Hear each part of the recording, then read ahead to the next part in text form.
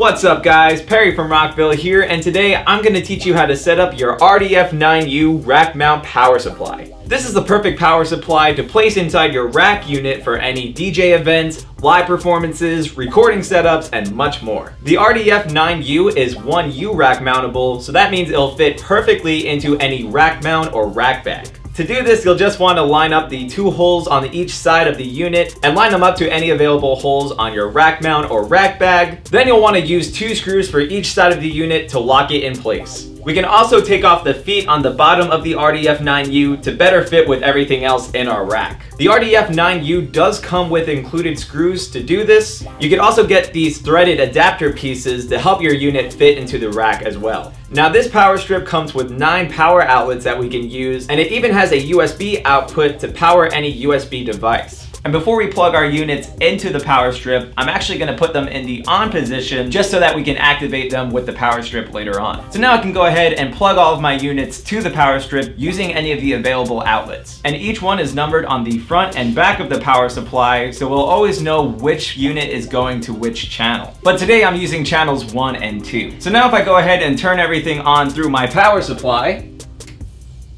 you should notice all of our rack units turning on. So again, we can use all of these outlets with our rack gear for live or recording setups, traveling setups, and much more. And one more thing I'd like to point out is the resettable 15A circuit breaker on the back of the power strip. This is what we would want to use to reset the power strip in case it goes into protection mode. So I hope this showed you guys how easy it is to set up your RDF9U rack mount power supply. But of course, if you have any questions, comments, or concerns, feel free to reach out to our customer support team through phone or email. As always guys, I'm Perry from Rockville, and we'll see you next time.